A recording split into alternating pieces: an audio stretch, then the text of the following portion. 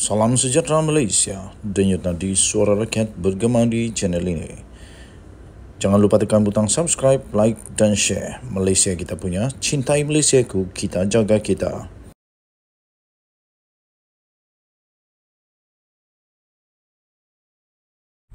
Salam sejahtera Malaysia, Denyut Nadi, suara rakyat terus bergema di channel ini. Wow, nampaknya Anwar bertubi-tubi untuk di dimohon, diminta, dirayu supaya Najib dibebaskan. Tapi ada satu yang baru ini yang lebih dahsyat. Daripada seorang pengamal politik, daripada seorang yang sudah lama berpolitik di Malaysia, dan saya fikir beliau tahu tentang undang-undang negara Malaysia. Perkara ini bukan perkara yang kecil. Kita tahu orang yang mencuri Milo pun kena penjara. Orang yang mencuri petai kena penjara, motor kena penjara. Tak sampai juta-juta pun. Apakan pula 42 juta ringgit. Tapi bagi Zaid 42 juta itu hanya hal kecil. Bukan Zahid Amidi ya, ini Zahid Zaid yang lain. Dia kata 42 juta ringgit tu hal kecil. Zahid minta Anwar supaya bebaskan Najib. Saya kata tak payah. kena adil lah, kena adil. Bagaimana mungkin boleh dia dibebaskan dengan 42 juta itu? Itu bukan hal kecil, ini hal besar. Orang curi Milo pun kena. Orang curi petai pun kena, apa lagi 42 juta ringgit. Ini kata bekas Menteri Undang-Undang sendiri. Oi, hairan juga. Kenapa bekas undang Menteri Undang-Undang kata begitu? Dia kata Uh, bekas Menteri Undang-Undang Zaid Ibrahim menggesa supaya Perdana Menteri Anwar Ibrahim untuk membebaskan membebaskan bekas Perdana Menteri Najib Razak demi rakyat. Demi rakyat juga harus ada keadilan. Katanya dari sudut pandang scheme of things 42 juta ringgit itu ialah nilai dalam kes rasuah SRC International di mana Najib telah disabit bersalah hanyalah perkara kecil. Bagaimana pula untuk justified? Cuba berikan alasan bagaimana untuk justified kepada mereka yang hanya bersalah kerana 5000, 8000, 20000, 200000, 2 juta uh, dalam kes-kes pecah amanah yang sama. Adakah mereka juga perlu untuk dibebaskan? Kerana kalau 42 juta ringgit ini hal kecil, apakan pula 8000? 10000 tak boleh, saya tak setuju. Dia kata kehadapan Perdana Menteri, anda perlu ubah fikiran tentang Najib demi rakyat biarkan dia bebas. Wah, kalau ini jadi memang uh, memang mengejutkan lah. Katanya lagi dalam pilihan raya negeri akan datang, pilihan raya negeri akan datang ini kerajaan Madani perlu menang. Anda jadi perlu jadi perdana menteri untuk beberapa tahun lagi, Ciap Zahid hari ini. Uh, saya punya jawapan untuk ini ialah uh, Anwar Ibrahim kena tegas kepada pendirian yang selama ini. Dia kata dia tak takut untuk kehilangan jawatan. Yang penting, yang penting rasuah mesti dihapuskan di Malaysia. Penyelewengan, salah guna kuasa, uh, sakau mensakau ini perlu dihapuskan. Zaid berkata, UMNO kini dalam keadaan yang lemah dan hanya Najib yang mampu membantu parti itu menang dalam PRN yang diadakan di enam negeri nanti. Soalannya mudah.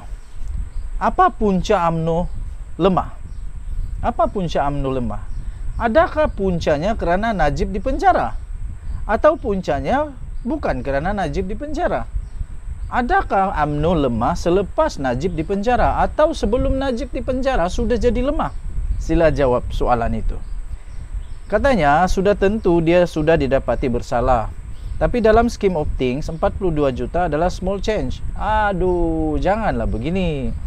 Lagipun mulai sekarang rasuah adalah perkara yang sudah berlalu di bawah kepimpinan anda yang tegas dan bersih. Tiada siapa boleh kata anda berlembut dengan rasuah jika mengampuni Najib, katanya lagi.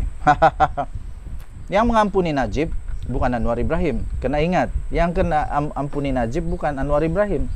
Itu adalah hak mutlak daripada pertimbangan Seri Paduka Baginda yang di Pertuan Agung. Saya fikir bukan begitu mudah. Najib kini menjalani hukuman penjara 12 tahun dan denda 210 juta ringgit.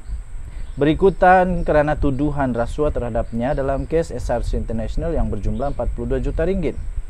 AMNO sebelum ini telah pun membuat permohonan agar bekas Perdana Menteri itu diberikan pengampunan diraja. Anwar yang juga turut menganggotai lembaga pengampunan telah menjelaskan setiap individu yang disabitkan bersalah ada hak untuk mendapatkan pembebasan dengan memfailkan permohonan dengan lembaga itu. Berkat bagaimanapun dia berkata pengampunan itu adalah hak mutlak yang di Pertuan Agung. Denyut Nadi suara rakyat bergema di channel ini. Suara saya, admin di Twin TV, saya tak setuju kalau belum tiba masa yang sesuai untuk dia dibebaskan tapi dibebaskan. Harus adil kepada rakyat. Bukan hanya adil kepada seorang tapi seluruh rakyat Malaysia. Denyut Nadi. Kita jumpa lagi. Bye bye Salam sejahtera Malaysia. Denyut Nadi suara rakyat bergema di channel ini. Hari ini hari ini uh, eh, 14 hari bulan 14 hari bulan Jun 2023 seluruh Dewan Rakyat gamat dan menjadi huru hara dan menjadi satu yang memang lucu ditonton di Dewan Rakyat kerana penyamun dan penyangak kerana gelaran-gelaran itu telah menyebabkan uh, satu Dewan Rakyat heboh lah. Gelaran penyamun dan penyangak telah menggamatkan perang mulut di antara Syahidan dan Muhammad Sani. Ah, Dewan Rakyat gamat dengan perang mulut di antara Datuk Seri Syahidan Kasim daripada PN Arau dan Muhammad Sani Hamzan iaitu daripada PH Hulu Langat.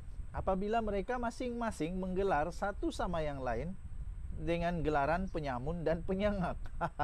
Insiden tersebut tercetus ketika Syahidan yang sedang membahaskan laporan tahunan dan penyata kewangan Suruhanjaya Hak Asasi Manusia atau Suhakam mula melemparkan dakwaan yang kononnya bahawa kerajaan telah mencabuli hak ahli Parlimen Pembangkang dengan tidak menyalurkan peruntukan sewajarnya. Saidan turut menggesa orang uh, orang muda supaya menolak dan menukar kerajaan sekarang. Saya fikir itu silap lah. Janganlah. uh, tak payahlah nak hasut ke, tak payah nak provok ke untuk sokong mana-mana. Kerana orang muda tahu mana satu yang nak disokong. Sama ada mereka nak sokong kerajaan atau tidak, itu terpulang kepada mereka. Dan saya fikir orang-orang muda sekarang bijak-bijak Semuanya ada terpelajar Muhammad Sani kemudian mencelah Sambil melontarkan pertanyaan Kepada Syahidan Kasim Iaitu adakah ahli Parlimen Arau itu Sudah bertanya atau berbincang dengan kerajaan Mengenai peruntukan untuk ahli Parlimen Pembangkang Nah itulah soalnya Sudahkah mereka berbincang Atau hanya uh, tiba-tiba saja muncul dan marah-marah kan bagus berbincang. Keadaan semakin menjadi lebih tegang apabila seorang lagi ahli parlimen daripada pembangkang iaitu Muhammad Hasnizan Harun daripada Perikatan Nasional Hulu Selangor yang tiba-tiba bangkit dan menggesa Muhammad Sani supaya jangan membuat kacau. Sewaktu masing-masing tidak mau mengalah, Sahidan tiba-tiba menggelar Muhammad Sani penyamun. Wow, sambil menuding jari ke arah blok kerajaan termasuk supaya meminta ahli Parlimen Hulu Langat itu duduk. Penyamun gelar Sahidan beberapa kali sambil menegaskan beliau tidak akan bertolak ansur kali ini. Muhammad Sani kemudian bingkas membalas dengan gelaran penyangak beberapa kali selain juga sempat membidas Muhammad Asnizan kerana sanggup bersekongkol dengan penyamun seperti Sahidan Kasim. Wow, ini memang patutlah panas. Tapi sebenarnya perlu rasional lah perlu rasional perlu bertimbang rasa toleransi pelan-pelan bah kamu jangan gaduh-gaduh ah. dia berkata bahasa kamu memang guna bahasa tidak baik orang Selangor tak boleh terima orang macam ini katanya kemudian yang dipertua Dewan Rakyat Tan Sri Johari Abdul kemudiannya mencela dengan mengarahkan supaya ahli parlimen Hulu Langat itu supaya duduk ha, jadi akhirnya situasi dapat di ditenangkan semula dan sebenarnya di dalam parlimen keadaan begitu tu biasa kerana reaksi itu adalah uh, aksi. Jadi untuk beraksi menjadi ahli parlimen mesti ada reaksi. Aksi itu reaksi, reaksi itu aksi. Ah jadi uh, biasalah cuma saja yang paling penting adalah setiap isu yang dipersoalkan itu haruslah ada jalan penyelesaian dan bukan hanya bergaduh-gaduh saja. Ah jadi tahniah diucapkan kepada semua ahli parlimen yang dapat bereaksi dan beraksi di uh, Dewan Rakyat untuk negara Malaysia. Kita jumpa lagi. Bye bye.